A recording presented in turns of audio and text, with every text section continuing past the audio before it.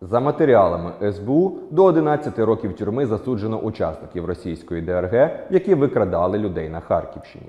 Служба безпеки зібрала беззаперечні докази вини чотирьох учасників російської диверсійно-розвідувальної групи, які вчиняли воєнні злочини у Харківській області.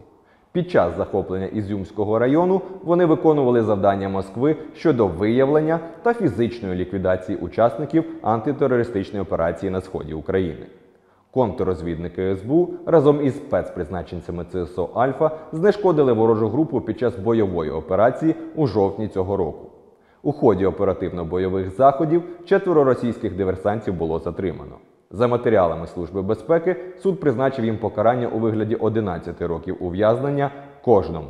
Серед них двоє кадрових співробітників 16-ї окремої бригади спеціального призначення головного управління Генерального штабу Збройних сил РФ, більш відомого як ГРУ.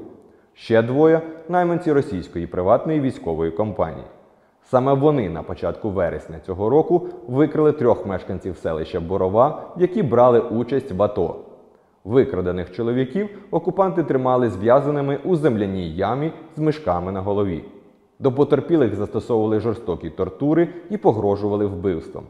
Таким чином загарбники проводили допити і намагалися вибити інформацію про інших українських патріотів. На підставі зібраних доказів суд визнав фігурантів винними за статтею 438 Кримінального кодексу України, а це порушення законів та звичаїв війни.